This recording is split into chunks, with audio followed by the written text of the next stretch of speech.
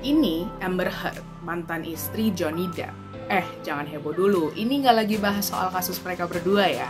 Tapi soal berita tabloid New York Post ini bahwa Amber Heard adalah wanita dengan wajah cantik di dunia menurut metode Golden Ratio. Hmm, kok bisa ya? New York Post pakai klaim ahli bedah kosmetik Inggris Dr. Julian De Silva.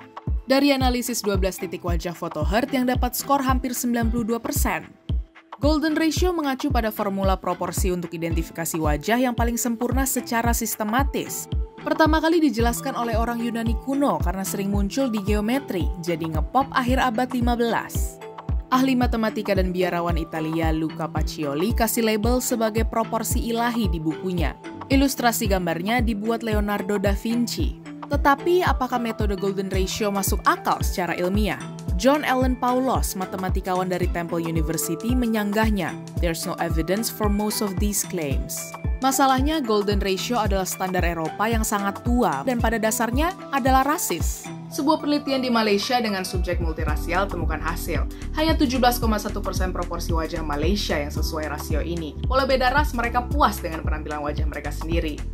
Soalnya yaitu, standar kecantikan manusia sebagian besar muncul dari norma budaya dan preferensi seksual dan estetika individu.